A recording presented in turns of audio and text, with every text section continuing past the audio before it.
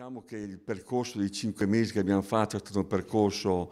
eh, importante, dove abbiamo coinvolto tutti i nostri circoli territoriali, 70 circoli territoriali, i nostri servizi, il patronato, l'ENAIP, eh, gli AC di casa, i CAF, le associazioni specifiche, l'USACLI, la FAPACLI, eh, per, con l'idea eh, di riposizionare le ACLI eh, in questa crisi che è una crisi profonda, una crisi eh, per certi aspetti lacerante che ci richiama al dopoguerra, ehm, quindi ehm, dove le ACLI devono, devono eh, essere significative e dare importanti risposte.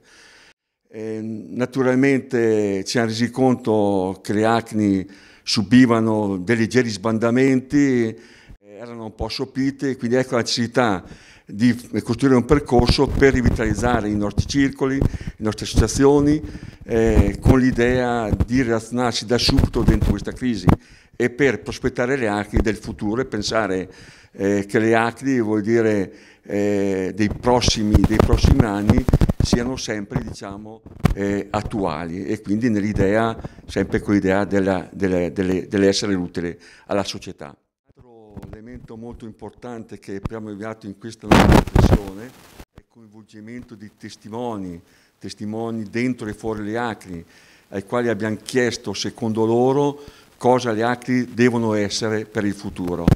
E quindi anche nel momento di stati generali, nelle relazioni del mattino, avevamo la presenza di Addo Bonomi, sociologo, di Annibale Salz, l'antropologo, esperto del, del mondo delle Alpi,